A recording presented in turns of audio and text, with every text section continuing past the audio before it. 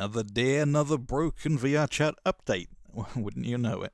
This time, except uh, for all the other things, they broke the fucking Vive dildos. So we're gonna go and fix that. Uh, word of warning: this is recorded with a lavalier mic while I'm wearing my fucking headset, and it's hot outside, and there is a fan. So if you dislike the external noises and you want the studio quality, uh, cry about it. This is the best you're going to get. Um, right. So, let's get to fixing. First and foremost, when you're going to be booted into the game, what you will have is the default or basic Vive controls that is somewhat similar to the non-advanced control scheme pro, well, previously present in the game. Not ideal, barely works. You, like you, you get the click movements, you get the gestures being stuck and stuff like that. Not great. There is a preset profile I've already made tonight while trying to unfuck their uh, mistake of an update. So it's available. You can just like look it up and click the activate button, you'll get it. But we're also going to go through and just replicate it ourselves so you can understand what you need to do and how to customize it in the future. So, first and foremost, open your menu, go to the cog tab, then open the full menu, navigate to controls, then click edit SteamVR bindings. This will pop this window up.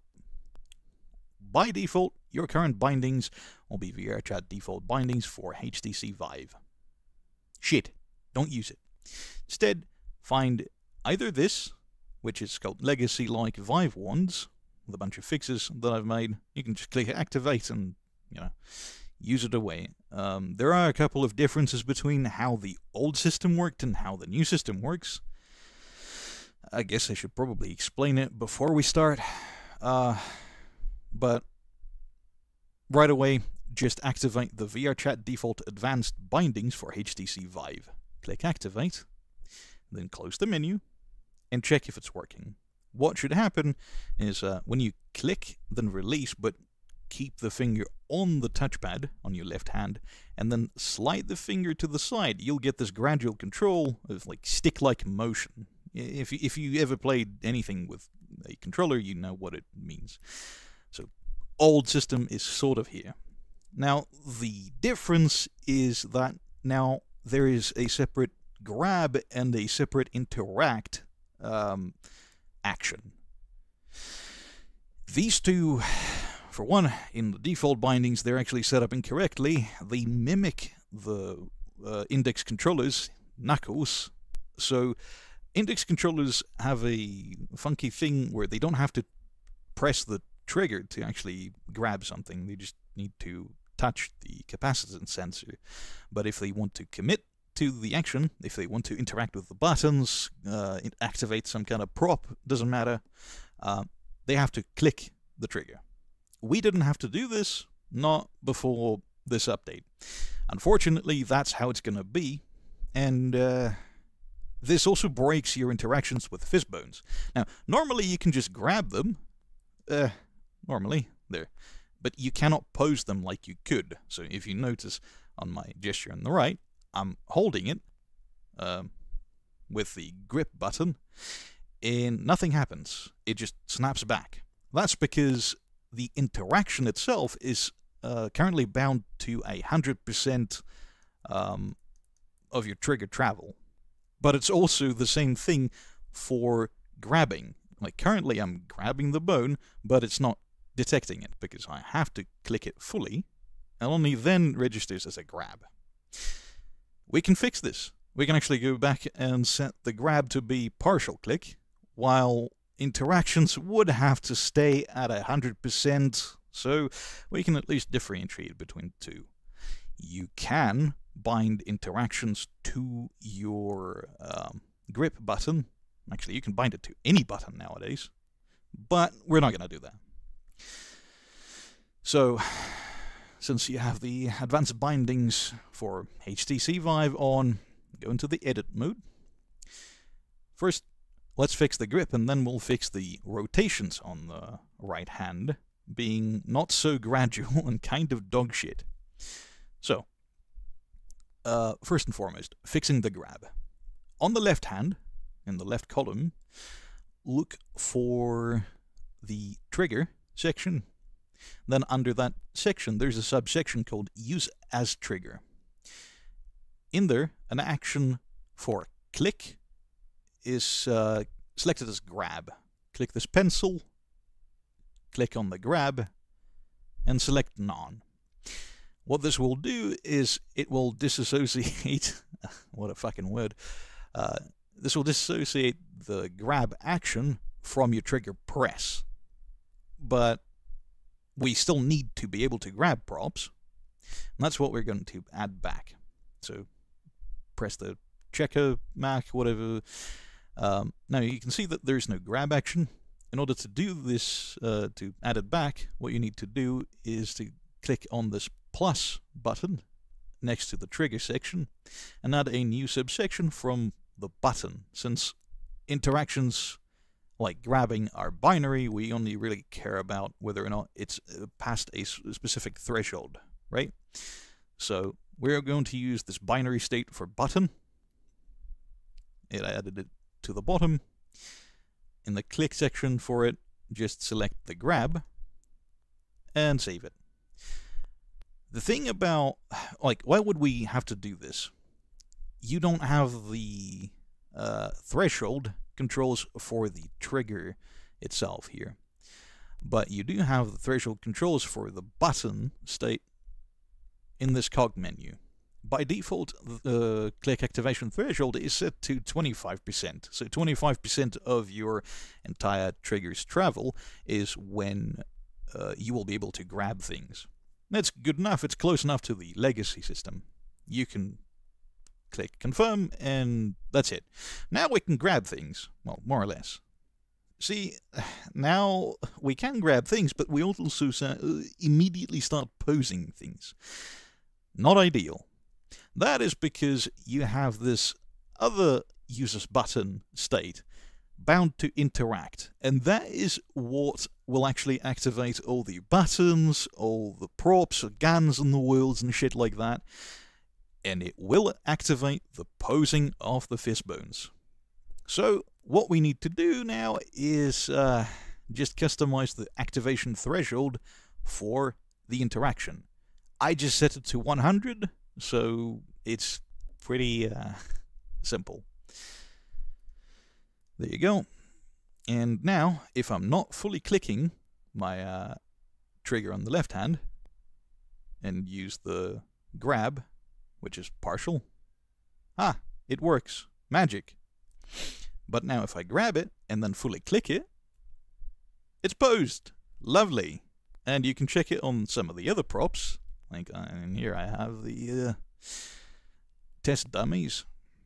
So partial click brings it back, so it's an equipable prop, and then full click activates the uh, grabbable object.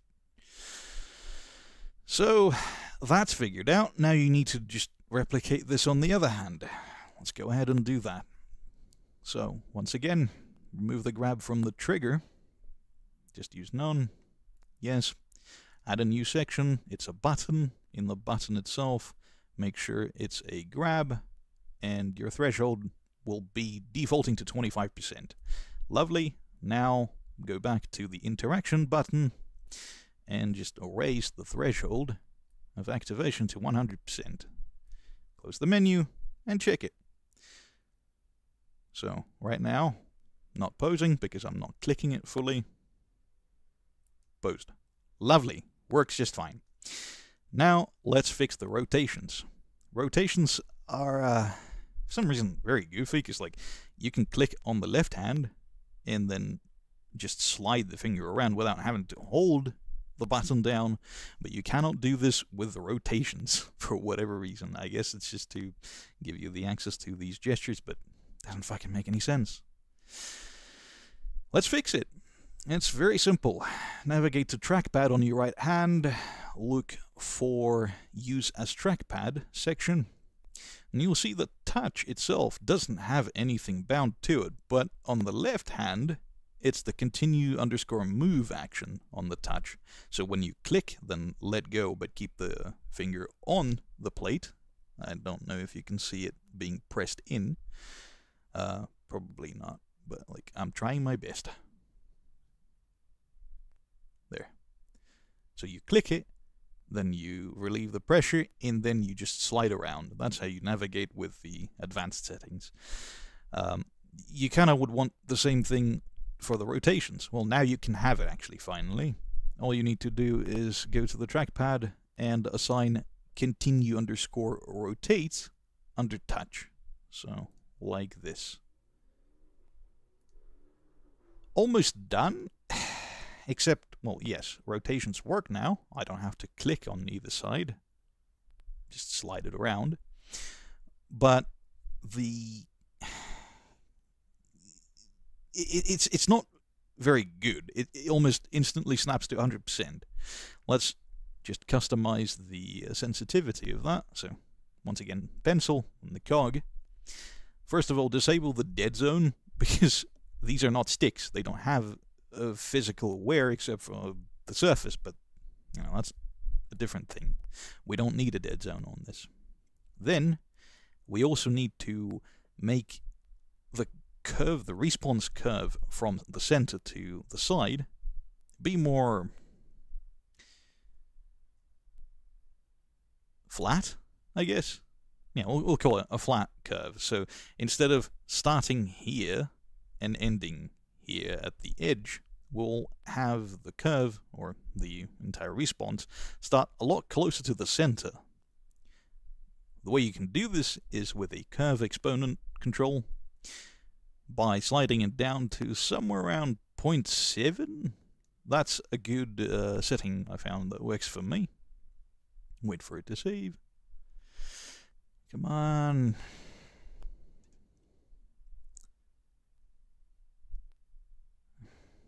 So how was your day?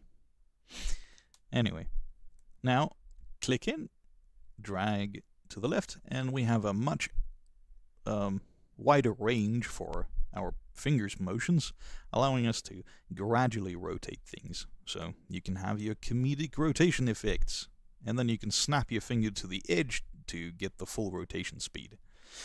Um, you can go even lower, depends on your own preferences, honestly. Uh, my preference is 0.7, 0.65 and 0.5 might be a bit too fast. Oh yeah, and you can also raise the uh, maximum zone percentage. This is just the maximum value we'll be reporting to it, but that's kind of irrelevant. Uh, it's not done saving yet. My day was okay, except for when I had to get on VRChat.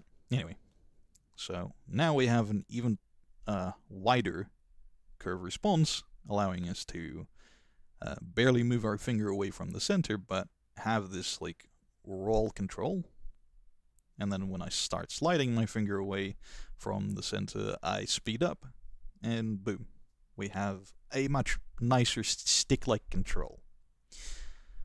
Um, yeah, we can apply this. One other thing that we found was broken, but they fixed overnight by the looks of it, was one-handed movement. Um, they did break it entirely, so if you don't have one-handed movement on right now, you can't move. You can hear me mashing the right side of the uh,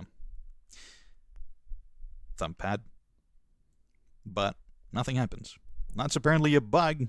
Somehow that ended up in the fucking production, but hey, why test anything? So now you have to enable one-handed movement and use your opposed hand controls to rotate yourself. You have to click it in to actually move. So that's a temporary fix that they've already rolled out. If it's not available for you, make sure that uh, your touch will just use the uh, continue move or rotate in the trackpad. This will fix it for you. That should be it. Then you can just save your personal bindings and you just have the much better controls. Yippee. Good fucking lord.